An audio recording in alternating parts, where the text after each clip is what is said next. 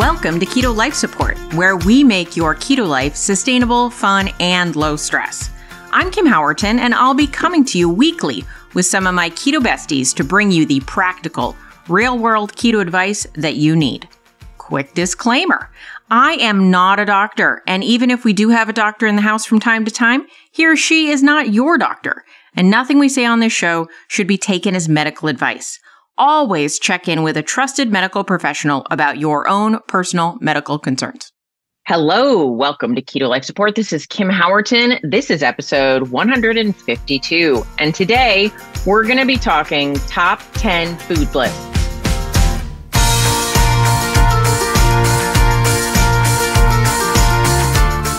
I just thought I would update you with some of my favorite things, and that includes both meals and things I buy. This might help some of you that are feeling a little stuck with what to cook, what to make, what to buy. And while they're not comprehensive lists, there are certainly things that are not on these lists that I regularly buy. These are probably my most important have to haves and have to makes on the regular. So I made a few different categories. I tried to keep each one to about 10 items. Let's dive in. Oh, and I will say that anything that has a recipe, I have or I am putting on my website at kimhowerton.com at recipes. All right, so you can check them out there. But the first category, not recipes, it's produce. So produce I regularly buy. We've got uh, in no particular order cucumbers. I love cucumbers. I love cucumbers. I love especially Persian cucumbers, you know, the little tiny ones. Um, but I also really like English cucumbers. I don't love as much the garden cucumbers with a really thick skin, but I will peel them and enjoy them that way as well. Did you know that there are more carbs in the skin as well, of especially of a garden cucumber? So the thinner skin your cucumber has, the less carbs does. Not to split hairs. I'm including under the cucumber category pickles because I am a huge pickle fan. I adore pickles. So pickles, pickle relish, anything pickle is getting included in my cucumber category.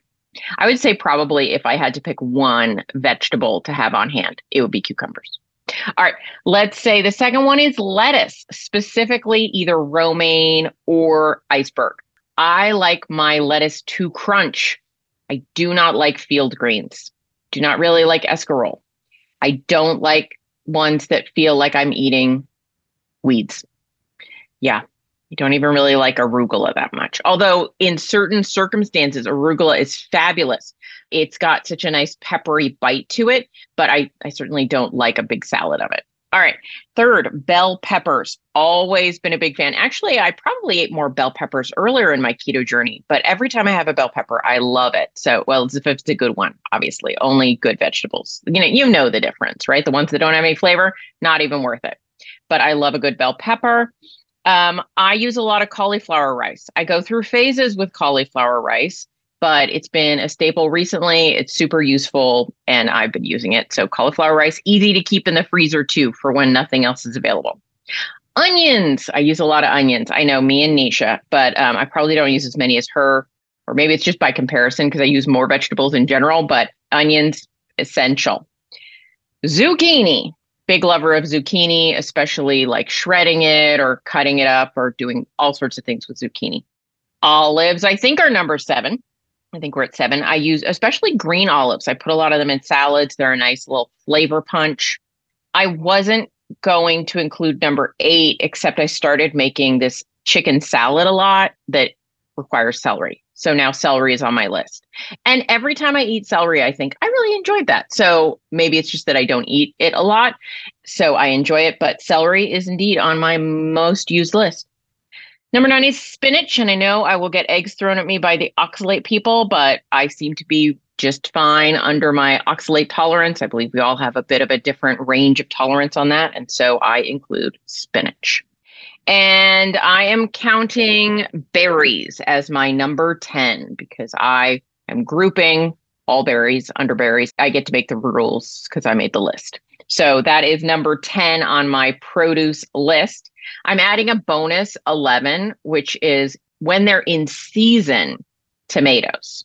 I do not mess with tomatoes out of season. Winter tomatoes are just sad. But when tomatoes are in season, you bet they are on my shopping list all the time. So those are my top 10 ish list of produce that I buy on the regular. All right, the next category I'm calling meat, egg, milk. It's sort of the other stuff I buy at the store. Eggs being first on the list. I use a ton of eggs. Oh, by the way, eggs, I use both egg whites and whole eggs depending on what I'm doing. And if I want to bump up my protein, a really easy hack is to add extra egg whites. So I will buy cartons of egg whites because I don't like the I don't like to separate the eggs and then throw away the yolks. That just seems so sad because the yolks are so good. So I buy both eggs and cartons of egg whites. Flank steak is top of my list of steaks that I've been eating of late. Now, when I first started keto, that would have been ribeye instead of flank steak, but I've gone leaner and uh, higher protein. And so flank steak fits the bill really well for me these days, as does tri tip. So, number three, tri tip. Number four, chicken breast. I don't eat a lot of chicken breast just plain or directly, but I make chicken salad or I process the chicken into like chicken breast pizza. So chicken breast is used a lot, and that's four on my list. Ground beef. I eat a lot of ground beef. Burgers are probably my number one love. So ground beef is number five. The rest are not meat, although I could have gone on and on about meat, but you know, I'm just going with the really popular ones. And uh, the next ones are Greek yogurt, cottage cheese, Fairlife milk, which is lactose free, low carb milk, but not carb free, but low carb. I put in my coffee. So that had to go on the list. And Parmesan cheese. So those are the 10. Well, no, those are nine. Oh, I have a controversial entry. Again, Nisha Berry would be sad because she thinks this is a sad, sad, sad state of affairs. But since I went higher protein, lower fat, I have included turkey bacon on the list of meat things I stock regularly. Now, hear me out because it's not bacon. It is not bacon. It is a terrible name. It is poorly named. It is a smoked turkey product. So it's useful as a lunch meat. It's useful as a meat to add to the side of breakfast dishes. It's just easy. And it's got kind of a smoky flavor, salty and smoky. So there's flavor there, which makes it really useful to me. But it's not bacon. It does not hold a candle to bacon, but it serves a protein based need that I have. And so I put it on my list of things that I tend to keep in my fridge. All right. So that was produce and meats. Now I'm moving on to what I will call products. So these are things that I buy. It gets a little messy, right? Because like Greek yogurt is, I buy it, I don't make it, but it feels more like an ingredient than a product. But okay, products. Number one, egg white powder. I use a lot of egg white powder in recipes, as well as two other types of protein powder PE Science is one brand and Keto Chow is another brand, and they both make what you might refer to as dairy protein powders. So these are protein powders that are a combination of casein and whey. And when I bake, that is the best baking protein powder to use. So either Keto Chow, the brand, or PE Science, the brand. PE Science does make an unflavored whey and casein blend, which is really great in recipes. So, um, those are my, I would say that's probably three protein powders, right? We got the egg white protein, we got the PE Science, we got the Keto Chow, and I use all of them almost exclusively in baking, although I will use a bit of protein powder sometimes in something I'm mentioning later, which is a Creami. All right, the next entry Lakanto monk fruit drops. It's how I sweeten my coffee. LMNT electrolytes. I think they're delicious. They dissolve really well. It's a great brand. I love them. And if you want to get some LMNT, you can get it at drinklmnt.com forward slash Kim Howerton. Add my name and they give me a little bit of a bonus. So if you've been thinking about trying them, I didn't mean to put an ad in the middle of this episode, but if you've been thinking about trying them, they don't charge you anymore for using my name and they send me a little gift and I would really appreciate it if you would do so. So just putting it in there. And oh, for doing it that way, for using my name, you actually get a free gift too, and it doesn't cost you any more money. All right. Cocoa powder is the next thing on my list. I use a fair amount of that. Redmond salt, got to have it in the cabinet apple cider vinegar and or other vinegars of low carb varieties. Olive oil. I use more olive oil than avocado oil. I don't use very much avocado oil anymore. Egglife wraps are on my little products list. I love the Egglife wraps. I love all the flavors. They're very helpful in just easy meal planning and putting together meal prep, I guess I should say. And the last item on my products list, I'm just going with spices in general because you have to have all the spices because they make life better. All right, let's go here. Products is forking off into a category that I hold near and dear to my heart sauces. Some of you have noticed that I use a lot of sauces. So these are sauces that I buy and a few that I make. And let me tell you about them. So, one, no sugar ketchup. I prefer the Heinz brand because I've been a Heinz girl my whole life. We always bought Heinz ketchup growing up. And so the flavor is very familiar and nostalgic for me. So Heinz no sugar added ketchup. I always have to have Dijon mustard and yellow mustard in the fridge. Uh, G. Hughes makes a sweet chili sauce, which is a little bit spicy, and I'm kind of a wimp. So many of you will be like, it's not really spicy, Kim, but it's a little bit spicy. And I use that to make like to I might mix into some ketchup to make a spicy ketchup or mix into some barbecue sauce to make a little spicy barbecue sauce. But if you don't know what sweet chili sauce, if you've ever before you were keto or low carb, you went to a Thai restaurant and there was like little um, you know, spring rolls and you dip them in that sort of translucent pink sauce, red, pink, red, orange, pink. That's sweet chili sauce very tasty. So G Hughes makes a sugar-free version. I have to order it on Amazon because they don't sell it in my store. Uh, speaking of G Hughes, their barbecue sauce, which I can get in my local grocery store, so I keep that on hand as well. I also like to keep on hand Primal Kitchen's barbecue sauce. What's the difference? Well, G Hughes is very sweet to me. It's a super sweet barbecue sauce. And the Primal Kitchen's barbecue sauce is a little bit spicy. It's got a lot of chili powder in it, I think and it's not sweet. So if I mix those two together, I kind of get the best of both worlds. So I like to have both of those in house. Speaking of Primal Kitchens again, their steak sauce is out of this world. So I tend to keep Primal Kitchen steak sauce stocked as well. And then a good quality mayo. So a mayo by usually chosen kitchens is my favorite. While I like Primal Kitchens for most things, I don't love the flavor of their mayo. So I go with the chosen foods instead. And sometimes I make my own, but I tend to like to keep one in the fridge just so there's always one and I don't have to get out the little blender anytime I need mayo. The next ones are recipes. So the first one is Thousand Island or burger sauce. And traditionally, Thousand Island is basically mayo, ketchup, and pickle relish. But I like to add a little more protein, make it go a little further by adding a little bit of Greek yogurt. And then I add a little salt and I add a teeny bit of yellow mustard, which kind of makes it a little more like a that burger sauce kind of thing, but it can really spark up the flavor. Then the next sauce that I make on the regular is going to be oh, and for the Thousand Island, I my favorite thing to do is to put it on burgers, uh, but you can use it as a dressing. Uh, for dressing, like I probably thin it down a bit with some vinegar. Then we've got honey mustard sauce. Love that, which is just basically a little Dijon mustard and some yogurt and some mayo. And I just thought of something that I didn't put on my products list that I should have. We're backing up and we're adding stevia glycerite. All right, sorry about that, guys, but I will reread everything at the end of this episode. So the next one is Chick fil A sauce. So I make a dupe Chick fil A sauce, but I wouldn't call it really a dupe in that it's way better than the Chick fil A sauce. Funny story about this one. Um, I'd never had Chick fil A sauce, and somebody gave me some of a duplicate Chick fil A sauce. And I thought, well, this has promise. And I started tinkering with it. And then years later, I think it was years, actually saw a Chick fil A. They didn't have them in the area I grew up in.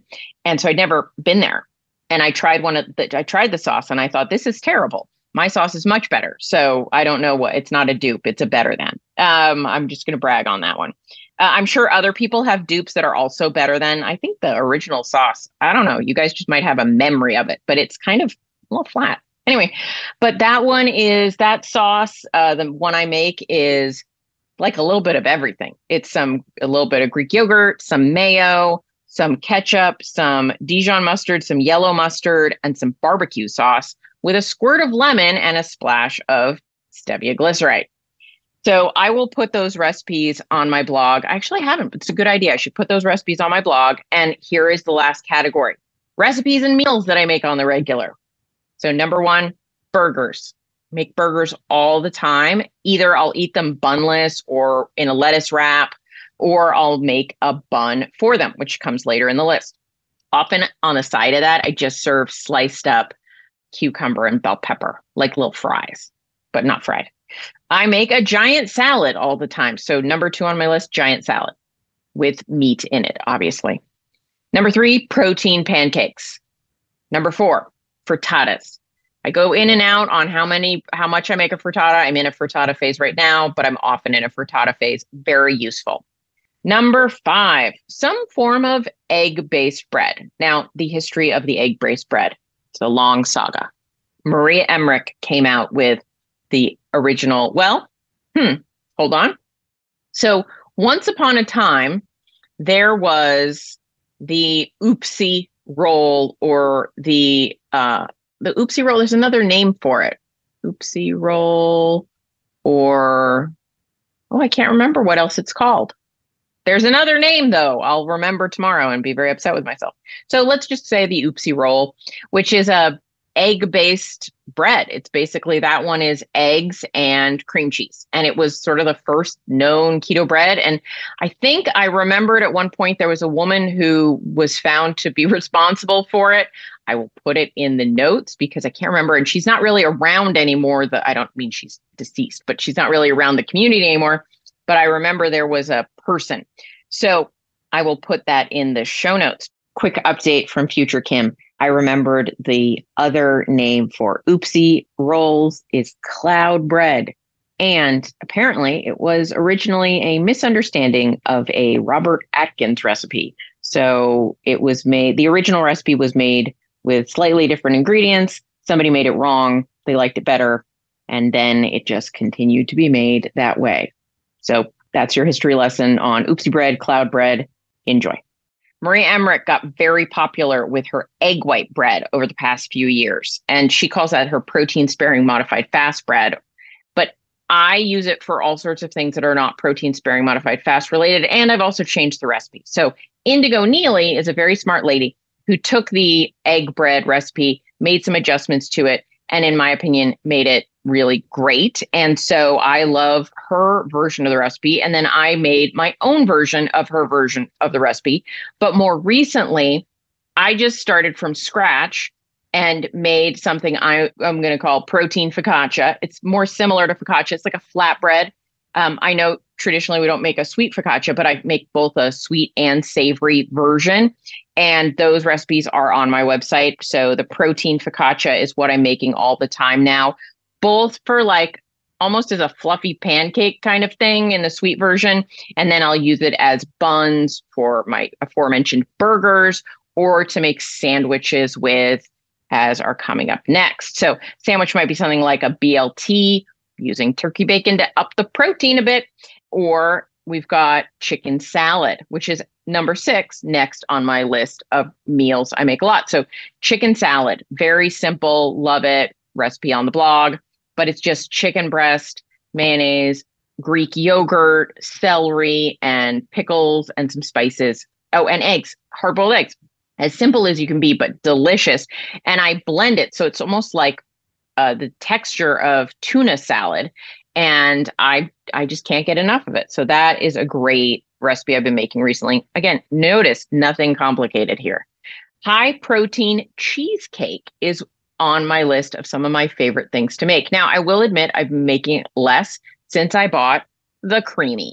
So I'm keeping the high protein cheesecake on the list because it's a real winner for getting more protein into your day. But I make froyo, frozen yogurt, creamies much more often because my boyfriend also loves them and we're just on a big kick of those. So number eight on my list of things I make all the time, froyo creamies. And that's real simple. It's just Greek yogurt um, and some flavorings, maybe, and maybe a little extra sweetener that I freeze and then I process in the Creami. uh, and then I'll throw in some berries if it's like a vanilla or a fruit flavor, or I'll make a chocolate one using vanilla yogurts and a little bit of chocolate protein powder and cocoa powder. And so I'll either make a chocolate creamy or a fruity creamy, make those all the time. So that is eight on my list of things I make all the time. Number nine, I don't know that I would say I make this one all the time, but I make it fairly regularly and it's always a winner, which is lasagna. And number 10, I found out recently that some people don't like meatloaf, but I love meatloaf. So meatloaf goes number 10 on my list. So those are all of the things that I would say I think have been super important to stock in my kitchen, keep me fed, keep me happy, keep me feeling from being, you know, deprived of things I love. So I'm going to go through the list real quick now without commentary so that you can have it. And by the way, I will put this out in written form as well. Produce, cucumbers, lettuce, bell peppers, cauliflower rice, onions, zucchini, olives, celery, spinach, berries, and tomatoes when they're good. Meats and things, eggs, flank steak, tri tip, chicken breast, ground beef, Greek yogurt, cottage cheese, turkey bacon, Fairlife milk, and Parmesan cheese. Egg white powder, PE Science, Keto Chow, those are all types of protein powders. Lakanto sweet drops, and I'm adding stevia glycerite, which has a different purpose in sweetening things. I will also add allulose to this list in the sweetener section, and those are the sweeteners that I use. LMNT electrolytes, cocoa powder, Redmond salt, apple cider vinegar or other vinegars, olive oil, Egglife wraps, and spices. Sauces include Heinz ketchup, Dijon mustard, G. Hughes sweet chili sauce, G. Hughes barbecue sauce, Primal Kitchen's barbecue sauce, a good quality mayo, Primal Kitchen steak sauce, and recipes for Thousand Island honey mustard and Chick fil A Noop sauces. My recipes burgers, giant salads, protein pancakes, frittatas, some version of it, egg bread, currently the egg protein focaccia, chicken salad, high protein cheesecake, froyo creamies, lasagna, and meatloaf. So thank you for my, uh, I hope people are hungry. Thank you for joining me today on my walk through the foods that I like that might help you think of some things you might also like. Questions, comments, please let me know. I always want to hear from you about things you want to hear about. Take care, and I'll see you next week.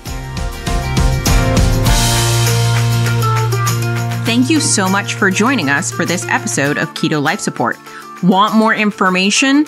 Want show notes? Want to suggest a topic? Just head over to ketolifesupport.com. That's where all that kind of thing can go on. By the way, I have a request. If you could go to your podcast host and hit subscribe, we would really, really appreciate it. And what would be even more awesome is if you could write a review. And what would be even more awesome than that is if you could write like a really flattering review. Just asking. You know, you do you. All right. So thanks so much for joining us. I'm thrilled that you're part of the Keto fam. Talk to you soon. Bye bye.